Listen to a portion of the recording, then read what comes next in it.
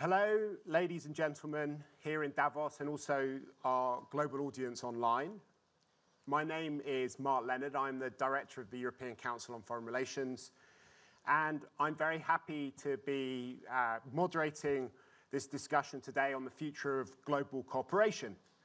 I've been coming to Davos now for, I think, almost 15 years, and the idea of working together to solve global problems is part of the DNA of the World Economic Forum and has always been the leitmotif of most of the discussions which have taken place here. But this year, the backdrop to those conversations seems quite different. We are seeing a, a geopolitical takeover of the world with competition and conflict eclipsing co cooperation in many domains. And many of the discussions which used to be mainly framed around cooper cooperation seem to have taken on a different turn this year. If you look at discussions about the future of the global economy, there are as many about economic warfare as they are about eliminating trade barriers. If you think about the discussions about technology, there's a lot of talk about the, the battles between different blocks and different systems. Even migration is no longer simply about the search for global talent. There's talk about migration and people, desperate people being driven out of their homes, being turned into geopolitical weapons. And even when it comes to the, the most pressing global problems, such as COVID or climate change, we often see states competing with each other rather than coming together to help uh, further the survival of, of mankind. I don't think that there are any less global challenges for us to solve than there were in previous World Economic Forums, but the challenge of coming together to solve them is, is becoming more and more difficult. And that's really our, our topic today. I'm very happy to be presenting to you an all-star cast from different sectors and different continents to help us make sense of how we can have global cooperation in a world where there is more and more competition. I'll introduce them uh, to you briefly, and then we will go um, into uh, a discussion, and we'll end with some Q&A from, from the audience. Um, to my far left, we have uh, Silvia Anna Ainio, who's a policy expert at the European Commission, where she leads the international work stream on sustainable finance. But she's also uh, the curator of the, the Brussels hub of Global Shapers and is going to be talking about some of the work that Global Shapers have been doing on, on these issues of global cooperation. Sitting next to her is Lance Pierce, who is the Chief Executive Officer of NetHope, which is based in the USA. It's a consortium of, of 60 leading non, uh, global non-profits that represent 60% uh, of the world's aid funding delivered through NGOs. Next to Lance, we have Ilona Szabó de uh, Carvalho, who is the founder and president of the Igarape Institute in Brazil, which is a global think and do tank focused on physical, digital, and climate security. And she's also a young global leader. And last but not least, we have um, uh, Kyung Won Na, who is uh, the special envoy of the President of the Republic of Korea. She was a judge before she went into politics and has had a, a distinguished career as the first uh, uh, female chair of the, the, the, Foreign Affairs Committee in Parliament and the floor leader. And we're very happy to have you here today, Mrs. Na. So um, maybe we can uh, just start with this difficult situation that we're in at the moment where we have a whole series of global problems, but we seem to be moving into a more zero-sum period of, of, global politics. Um, Sylvia, do you want to, to kick off and, and, tell us how you see things from your perspective? Sure. Thank you, Mark. So just to start with, um, I want to uh, introduce uh, the speech with facts. As the Global Shapers, which is a community of the World Economic Forum of uh, young leaders from all across the world, we have more than 500 hubs what we have done during the COVID pandemic is we have worked on a youth recovery plan. We have realized basically that there were a set of topics that we wanted to understand how to tackle and what the youth thought about them. And of course, as policy leaders were coming across and trying to solve the issues of the COVID-19 pandemic, also we wanted to see what the youth had to say about it. We carried out more, a survey of more than 30,000 people all across the world, And one of the important findings that we got is that only 6% of young people actually want to run for office or think that politics can actually solve today's global issues. This is astonishing, and it is, of course, um, a fact that we need to reason upon and we need to find a solution to. It might be linked to different uh, uh, set of mistrust and uh, also kind of disengagement towards the current political system. The good thing is, um, while this is happening on the one side, uh, we also found that the people that actually want to engage, let's say, in political entities, they want to do that at the multilateral level. So there's much more, uh, let's say, political systems and political organizations that, for instance, look at specific values, take climate change, which is a topic that I also work on, and they're cross-cutting. They do not look at the nation state anymore as like a basis to work with, but they rather look at common problems and how to tackle them all together. So I do believe that there is, of course, a very strong issue with restoring trust in existing political systems that perhaps they do not really tailor anymore for the youth of today, uh, which is the findings that we got. But there is, uh, at the same time, uh, let's say, young generation that really wants to engage in value-based uh, politics, and then wants to do that without looking at traditional partisanship, but rather going across that and really collaborating across countries. So this is the first important kind of funding I wanted to present to you. Thank you very much, Sylvia. But how do you reconcile the fact that power still, uh, on a lot of the issues you're talked about, is being held by the national governments and parliaments that these people don't want to get involved with? They want to get involved with a, a system that's increasingly powerless to deal with the, the issues that we're talking about. I think the main issue is that political systems of today perhaps do not really cater anymore for the youth. And that's probably why the youth is not engaged uh, with them.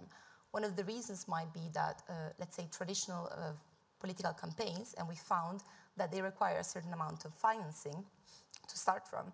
And that might be also an obstacle to, let's say, get the middle class, but also young generations to start these campaigns and to really engage. It is also linked to a question of representation and diversity. So, how many actually diverse people we got currently in power in existing political systems? And I do believe that one of the key, let's say, actions that we need to do is to really sit at the table of political leaders at the national state and understand together with them what does need to change at national level for, let's say, traditional partisanship to appeal. Because although, you know, multilateral uh, groups, multilateral uh, entities are really important to solve global issues, we do need nowadays, more than ever, given the current situation of re-globalization that we're looking at, also national states, also political uh, leaders to engage at the national level and to be able to really uh, mirror these value-based movements that we, uh, as the young generation, so eagerly want to engage with. Okay. Lance, you lead this coalition of some of the world's biggest NGOs that are dealing with a lot of the, the wicked problems at a global level. How do you see the, the, situation? What, do you, what are your members telling you about their, the operating environment that they're, that they're in at the moment? Well, NetHope is a, is a, as Mark said, a membership organization. We have 65 members uh, who work in over 190 countries around the world, uh, developed and developing. And uh, if you could uh, boil the issues down to the kind of the core themes that our members work on, there are things like persisting inequality, um, climate change, both on the mitigation and as well as on the, uh, the resilience side, and uh, crisis response, which includes a number of the refugee crises around the world. And um, uh, for all of those issue areas, global cooperation is essential. Uh, it, it, uh, it, it's not possible to work on issues that increasingly uh, cross national borders, cross regional borders, unless you've got robust systems of cooperation. Um, and as noted, those are uh, really under pressure uh, in multiple ways around the world. So, um, you know, our members, as they look to prioritize the work that they want to do um, and the ways in which that they can continue to serve people and places, um, we need these systems of cooperation to really be able to, to allow access, to allow flows of aid, material, people, talent, and so on. And so, um, so there's, there's concern uh, among our members about the changing environment and concern about the ways in which they're going to be able to work in the future, especially as we look at a landscape where there are likely to be more crises rather than fewer. Great. So, Ilona, you may, may be at the interface of the first two speakers because you work on lots of big global issues of the type that, that Lance was describing. But uh, you come from country Brazil, where national politics has been uh, very much organized as a, a counter revolution against some of the globalist forces that, that we're seeing. How do you uh, uh see these two uh, imperatives fitting together, and, and what does it make you think about the future of global cooperation? Sure, I think we're I think going into a multipolar world, which is always more unstable and just brings challenges. But also, I think it's uh, we have to recognize that this is a, a demand from many developing countries that we have a better redistribution. That said, I think we have several challenges to address there because even before COVID, we were seeing economic decoupling, supply chain decoupling. We're seeing this uh, uh, internet fragmentation possibility, splinternet. Uh, we're seeing the climate shocks that also, you know, just understand the interrelation. So COVID already tested multilateralism. And I would say Brazil, till very recently, was one of the biggest champions of multilateralism. And I hope we'll go back to that stage because I think that there's no way out of that for the issues we face domestically, but also internationally. So I don't see, when I, when I look at all the discussions here, I totally understand the, the risks. I think we're living through an era of systemic compounding risks that will shape uh, every decision. But I don't see a way out of us to just go back to the table and try to find like really solutions based on diplomacy, based on cooperation. So I was recently invited by the UN Secretary General to just join his new board on effective multilateralism, and we have a big agenda in front of us. So from here, I'm going to Sweden for another presidential meeting, and we're dealing with issues uh, from you know uh, peace and security to climate to international financial institutions. So how can we think about improving governance on those issues? Because even if we're seeing fragmentation and distrust, uh, the only way for humanity and for the next generations to address what Sylvia was saying is that going back to the table. So let's try that better. like let, us try to do our best there. Great, thank you very much. Mrs. Na, you come from a country that's been very active on multilateral issues in the G20 and various other formats, uh, but you also find yourself in a part of the world that's increasingly caught between uh, wanting to have very close economic relationships with China but also having security relationships with the United States.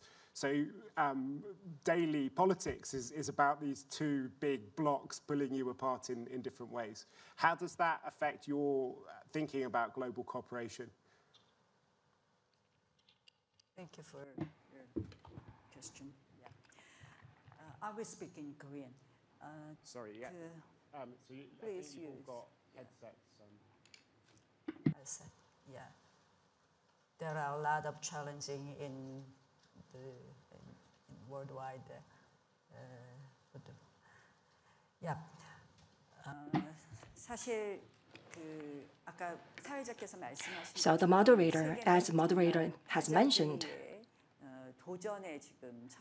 the world is facing the challenges to achieve multilateralism. After the Second World War, we have pursued globalization, but after the, the Lehman incident, Lehman incident, multilateralism has been declining and the Trump, President Trump of the US and other uh, factors have just battled multilateralism and the COVID-19 pandemic also did not contribute to multilateralism. Then the, does the world have to give up multilateralism? I don't think so. Korea has been a recipient of multilateralism, and we have grown thanks to multilateralism. This is a very important framework that the world has to work on. And how do we have to maintain multilateralism? Our new administration has taken office two weeks ago, so our new president, President Yoon Suk-yeol, has this diplomacy vision, which is value-based diplomacy.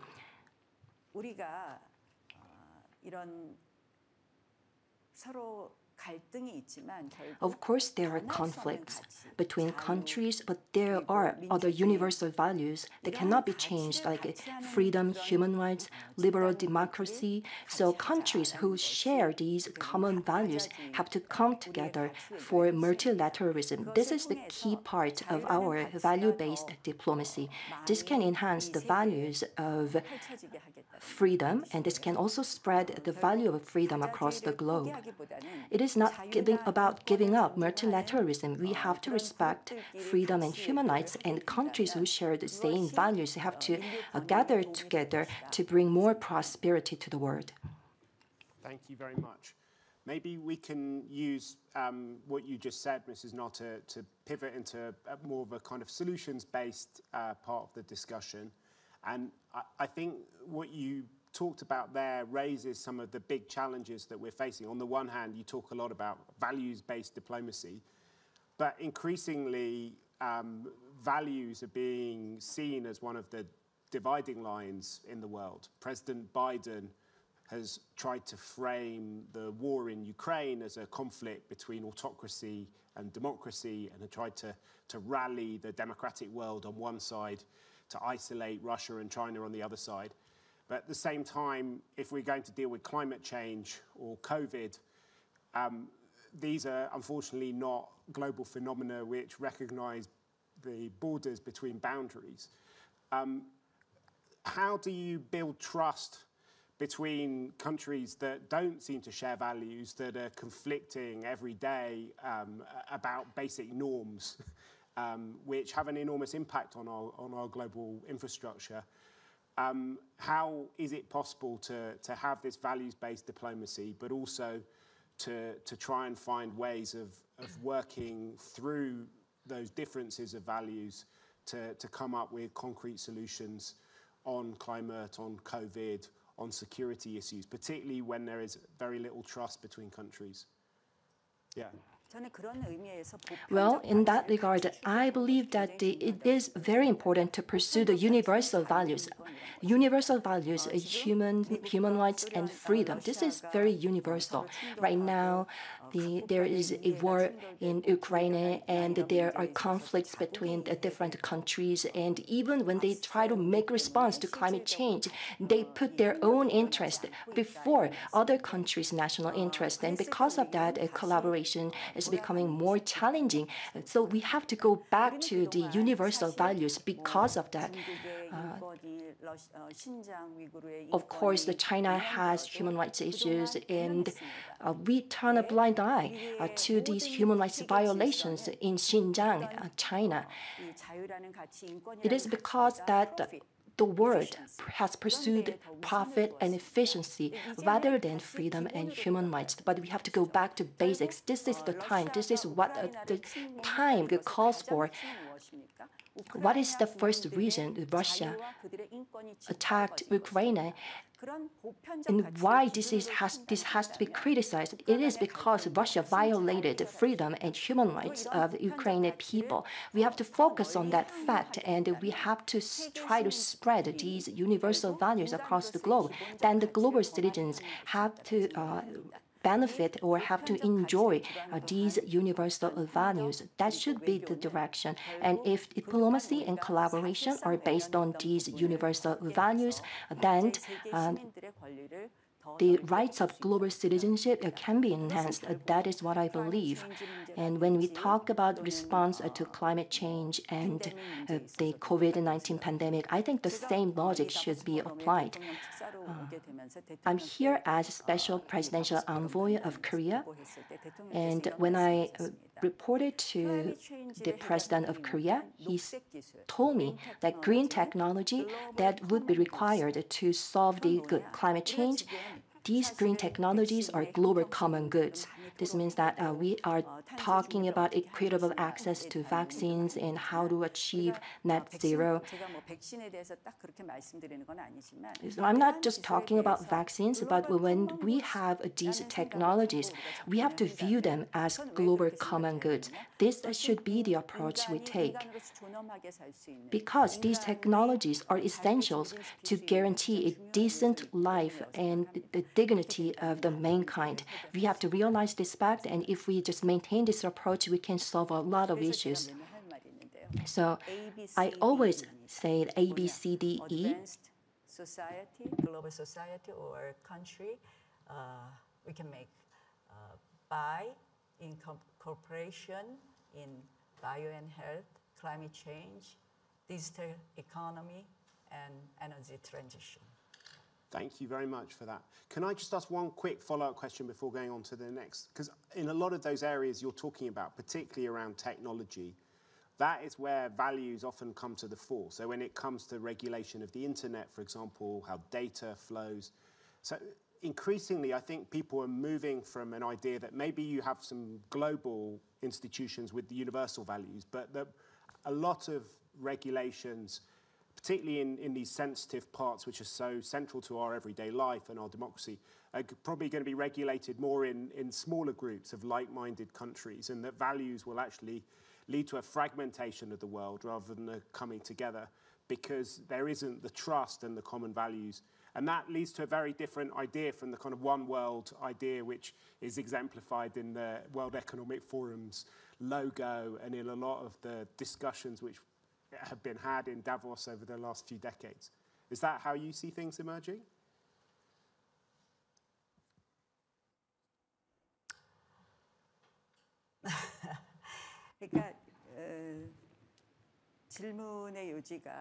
So, the question that you want to know about is that how uh, we pursue this globalization. That is what I think. So we have to go back to basics Up until now, 다른 이슈로 우리가 대립을 다른 그러니까 저는 기본으로 돌아가면 if we go back to basics, then this uh, fragmentation, fragmentation of the world 중요한 것은 이 그 기본적인 아까 말씀드린 자유를 증진하고 자유민주주의를 존중하고 하는 그 기본으로 can be uh, solved if we just respect human rights and liberal democracy. Then the the world can be uh, gathered together based on these common values. How do you see uh, that dilemma, Ilona? So I would just say I agree that we have to go back to basics, but I would say the UN Charter, the Human Rights Declaration, that's the minimum. Countries signed, it's there, but at the same time we need to reinvent and make multilateralism much more agile, inclusive, and able to deliver to the real needs of people. And unless we do that, and a, good, uh, I think, a good piece of information that you brought is that if young people really want to get involved in global questions, they might, you know, uh, pressure from another angle because what's happening today with the lack of regulation, for example, for the, the big technology companies with increasing polarization, disinformation, this is really, uh, like, I would say, undermining not only democracies, but also social capital in general across the world. We don't trust each other. And I think uh, to rebuild trust, we're going to have to deal with like basic rules of the game. And there we have to be very principled because we cannot accept what's happening, like in the case of Russia and Ukraine. We're going to have to include more voices in the global debate. And I do believe that it is also ring power countries because when we think about our political leaders, they don't only don't have domestic support for dealing with the global questions because honestly, this distrust, polarization, disinformation, misinformation, among, of course, inequalities, incapacity to deliver, growing angry, frustration. So, but one thing goes hand in hand with the other, and we have to work multi-level. So, but globally, let's go back to basics, but let's also reinvent, reboot multilateralism. And these will require more division of power, more plurality of voices. And it's hard, but it's the only way out. Cities, young people, civil society, business. So all the problem-solving approach that we are saying, it has to be like based on task forces, problem-oriented, and this will rebuild trust. But unless we agree to sit with different people and go problem by problem, you know, and then make a common agenda again for the world, we won't be able to move forward. Can I just ask you to go a bit more detail? Because you're talking about, on the one hand, empowering states and giving them a sense of control and sovereignty back, which is the, the sort of leitmotif of politics in lots of places, not least in Brazil, where people feel that their national governments are basically losing uh, any purchase on the future of their country because of global forces, because of things which are beyond their control. And at the same time, uh, you're saying that the solution lies in further diffusing power and getting yeah, big companies. Local governments need to regain legitimacy with its domestic constituencies and do the right thing because today the, what leaders are doing is just playing for the audience, playing for actually a small audience, generally in social media, that is shouting and not really paying attention to the majority in general mm-hmm. and to the real needs and to really the work has to be done. So like we need to be able to vote for leaders that can sacrifice re-election power for people. Like they're not serving their people, they're losing their, their constitution. So like it's if they can legitimize their role as leaders and really we have also to work with to the possibility of like uh, uh, dealing with this, uh, I would say, uh, epidemics of disinformation, then we can have a way out. So this has to go hand in hand. But I don't see a way of uh, a way out for any country to deal with the problems we have today in their own. So unless they really want to collapse internally, they're gonna have to engage multilaterally.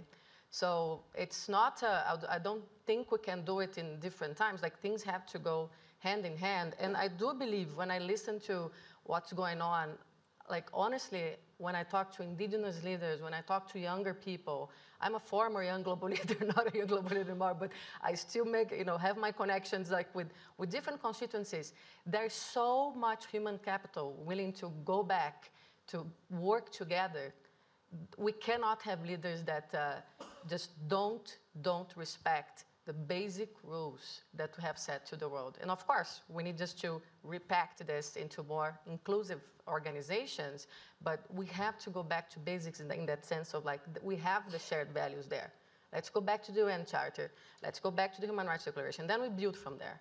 Okay, I'm feeling a bit less old now. I'm also a former young global leader. Ah, you see? You were real... Lance, you were nodding a lot while Ilona was speaking. How do you see things? Yeah, and uh, several people have sort of mentioned the uh, the internet and kind of the new digital diplomacy that options that are out there, and you know the um, the the legacy structures of multilateralism um, today don't um, don't yet sort of include the full range of possibilities made available by digital. I should say that NetHope was founded as an intentional partnership between the humanitarian and conservation sectors and the tech sector. So that's that's in fact what we do. We work on partnerships on digital, on data initiatives across the whole range of our member organizations. And so I think the digital commons that increasingly make it possible for us to communicate across great, great distances, to collaborate in ways that we couldn't have imagined before, to parse data uh, at a scale that we, we couldn't have really uh, imagined uh, only a few short years ago. Um, all of those areas, uh, I think you're going to see creeping sort of into the new multilateralism, and of course the UN, the UN is working on the um, the uh, the uh, the uh, digital um, um the digital compact, yes, uh, that is expected to be rolled out in 2023, and um, you're going to see more, I think, of these uh, sorts of uh, protections and standards and expectations and even values kind of rolling into some of the new frameworks that are are uh, beginning to take place. Um, and, and that's important because, um, it, you know, as you mentioned, you know, increasing forces of fragmentation, um, the things that pull us apart. You know, many countries uh, are shutting down the internet, literally shutting down the internet in, in advance of key elections, in advance of public debates, in advance of policy decisions. Um, and this is not an isolated incident. It's happening increasingly in various parts of the world. So uh, it's not something that uh, people um, in, uh, in, uh, see everywhere, but it is a phenomenon that's real. Um, and advocates are really working to make sure that people do have access to this this resource that uh, really brings us all together in new ways. So um, I, I, would say look for more of, of that kind of um, digital thinking, uh, moving closer to the center of the kind of the reinvented multilateral frameworks that we're going to have to see in a world where the climate is changing, in a world where opinions are shifting, in a world where people are moving across borders in unprecedented ways.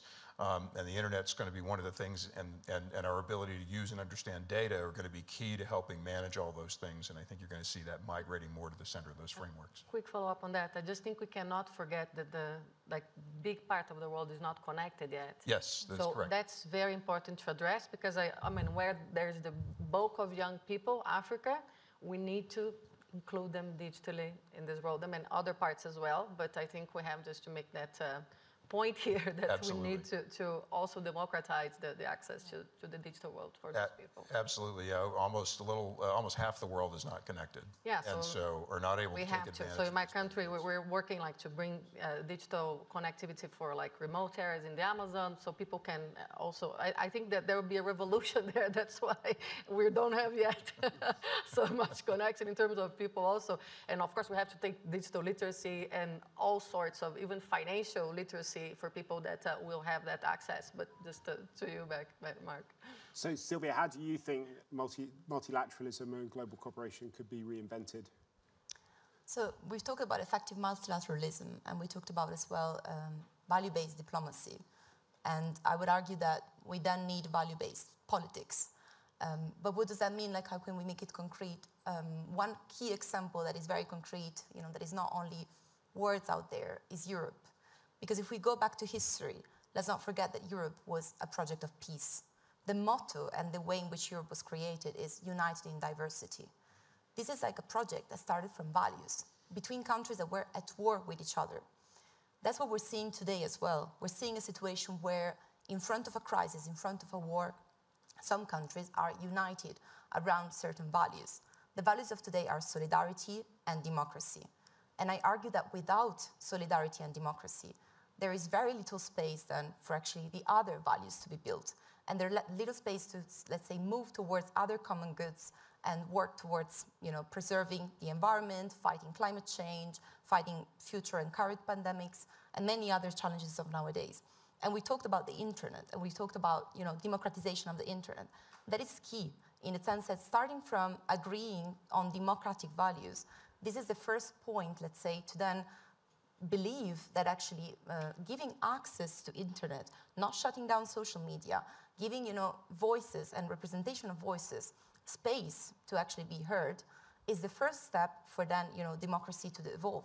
And democracy is evolving around you know the social media. We've seen all the movements that I've talked about beforehand. So these global multilateral movements, um, which are from Fridays for Future, but also, if you want, the Arab Spring, originated from social media, originated from access to information. And that is because there was a belief, or at least, you know, a movement towards democratization. If we do not have democratization first, I argue that it's very difficult to then move towards other common values that we're talking about. And this is possible indeed, as I said, because we've done that in the past. We've done that, of course, only among a certain pool of countries. We're not talking about a global uh, set of democratization of countries, but we've done that among countries that were at war with each other in the past and decided that peace and democracy were going, you know, before their, their single interest towards a glo uh, global common interest, a global public good. Thank you very much. I'm about to open it up for questions and comments from the audience, but I think you wanted to say something first, Mrs. Ma. Yeah, I no. So everyone is talking about politics and the politicians are doing bad, so I feel responsible as a politician. So you talked about democratization of the internet and access to information. So we are uh, talking about the crisis of multilateralism, and not just crisis right now. We already have the gaps between generations and between different regions and I understand the anger of the younger generations toward politicians. Internet is a tool to spread information. I agree, but sometimes internet is a channel to increase conflicts and tensions between different generations and between different classes and between different regions. If you look at the internet system like Facebook, Instagram, and other social media channels, if you look at YouTube, then they are using algorithms to show contents that, is, that are just tailored to specific preference of users. And this radicalizes users. And this is also the trend of social media. People just see what they want to see and believe what they want to believe. So along with the democratization of the internet, we have to think about ways how we can reduce these factors that causes and increases tensions and conflicts between generations. I think this is another challenge that we have to overcome. Thank you very much. That's a very important point about how all of these forces seem to be double-edged. all of the positive uh, sides of globalization seem to have a, a kind of uh, evil double um, and a dark side as well. Um, I'm now going to, uh, we've got about 10 minutes left for, um, uh, for, for, questions and comments from the audience. If people want to put their hands up to, to raise something, and uh, hopefully we can bring a mic. There's a gentleman in the front row. If anyone else wants to put their hand up, uh, a lady over there, maybe you could give her a mic as well so she can come in. Uh, thank you. My name is Saeed Mohammed. I'm from Oman. I have a question for Na. Uh, when it comes to uh, global values such as freedom, human rights, some argue that there is double standard. And they give the example of the, the current conflict, Ukraine, where the West actually stood uh, by Ukraine, uh, giving it support, military support, uh, financial resources, and all kind of other supports and with, when it comes to other occupations, the world is quite silent and nobody talks about it. So how do you respond to such criticism? Thank, you. Thank you. you very much. There's a lady here in the, in the third row. Thank you. Uh, my name is Naoko Ishii, the uh, Director Center for Global Commons at the University of Tokyo. My question for the panel, maybe particularly maybe a lady from Brazil, is that uh, when you talk about let's go back to the table, who is actually going back to the table? I assume, just based on the conversation, it's not just a representative nation state. You may be looking at much broader that a body of representing values. So then that if we don't want to see the multilateral institution, which is not necessarily functioning too well, maybe the world is quite a kind of a complex world that representing those groups, represent those values, issue by issue or value by value. So how you see the governing structure of this uh, uh, new world of, you know, multilateralism coming back. Okay. Are there any other comments, or we'll have one more here in the, in the second row? Thank you. I'm Heti Samosir from Indonesia, um, Global Shaper Burn Hub, the coming creator. So it's mentioned before that a big part of the world is not connected yet. So what we can do as the young people, the, the future generation, to create universal values so that we have common understanding to solve the issues that we, we mentioned before. Thank you, appreciate it. Okay, thank you very much. So we've got three uh, really great questions there. One about Western double standards, one about how you how do you govern uh, this world of kind of different values, and then finally how to how to connect people. Um, do you want to go first, Mrs. Noah? Take, don't feel you have to answer all of them, but answer as many as you can in about 90 seconds. Who starts? Ladies do you want to yeah. start, Mrs. Noah? Oh, well, do you want to start? Why don't you start, Elena, okay. while you're at it? so I'll go to Naoko. So that's precisely what we aim, like very humbly, to, to just uh, give ideas in a report that will be launched in February 2023 of the High Level Advisory Board on Effective Multilateralism. But the way we see is that, of course, we have to go beyond international cooperation, state level cooperation, and really think about the ways, for example, the, uh, for even the UN to reinvent its capacity to, to absorb what's coming, like from be a place like the World Economic Forum, be the amazing like uh, innovations that come out of cities, be citizens that are already working task forces, very local but very problem oriented that could have ideas to scale up. So we're really like thinking broadly. Like we know there are like, of course, uh, member states that will continue to, to be there, and that will be hard also to break the, let's say, uh, power power uh, struggle. But we have to make it more inclusive. Otherwise, the system will implode because there are many issues already happening on the floor that are not being absorbed by the system. So we hope to come with great ideas, hopefully, in February 2023 to respond more precisely. But we're looking at many options. And just a quick question on, on the connectivity one. I think uh, the young people that already have the connection needs to be very, like a, uh, the, the solidarity has to be really increasing and we have to push into unfortunately, at the moment of so many com like compounding risks and priorities, we have to look at the ones that are not there because that will change the world, and I think for a better future that we have today. Okay, great. Would you like to go next, Mrs. Yeah. yeah. 어, 뭐 지금 말씀하시는 어, when I listen to remarks of other panelists and questions from the audience, of course, uh, there should be a priority and we have to focus on the biggest risk and threats first. So Korea is caught between China and the US that was mentioned by our moderator. And I believe that Korea has not played a role that befits the economic status of Korea. So we have to do more. That's the realization of the new Korean government. So two weeks ago, our new president took office, and in, in his inauguration speech, he mentioned the word freedom 35 times. So he wants to spread this value of freedom across the globe. Of course, Korea is already a liberal democracy, but he wants to expand this value across our uh, Uh, society and across the international globe, and we will make bigger contribution to the world so that this value can be spread across the globe. We are ready to take on bigger role in the international community. We will take more interest in the issues across the globe. Thank you very much. Lance, do you want to, to go next?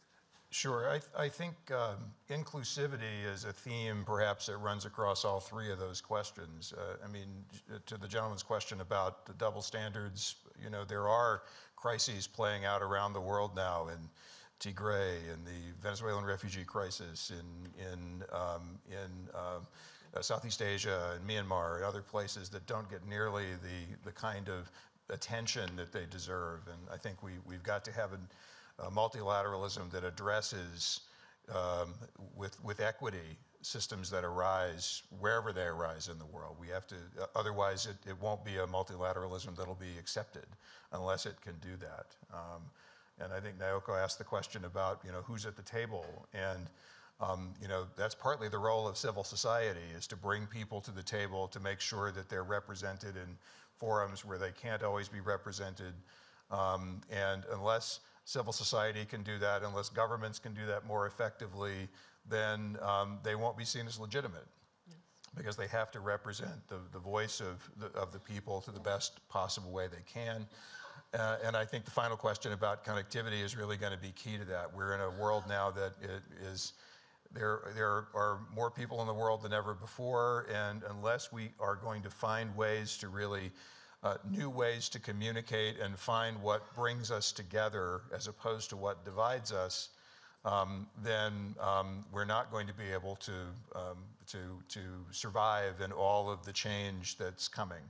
Uh, we have to find ways that, um, to find those things that, uh, where we have more in common uh, as, as opposed to the things that drive us apart. We can always find things that separate us um, we're going to have to work a little harder to find the things that bring us together because that's the way we're going to actually uh, get successfully the, the, uh, through the, the changes that are coming. Great, thank you very much. Last word to, to you, Sylvia. Thanks. So one of the key kind of outcome from this discussion that I'm thinking about is really that I would like to, to sort of argue that we cannot avoid uh, for multilateral institutions, but also multilateral youth organizations as well, to engage with the current system if we want to change things. Meaning, what we need to do is, of course, we need to be offered a seat at the table, but we also need to fight for it in a way. Um, because this youth mistrust, let's say, in global politics, in national politics rather, it's, it's something indeed concerning, deeply concerning. But the only way to change this is for the global multilateral organizations that we work with, that we engage with, that the youth wants to be part of, that have specific value-based type of policy and politics, to engage with you know, the current policymakers in order to bring the value, to bring the issue there and to engage in a discussion at that level.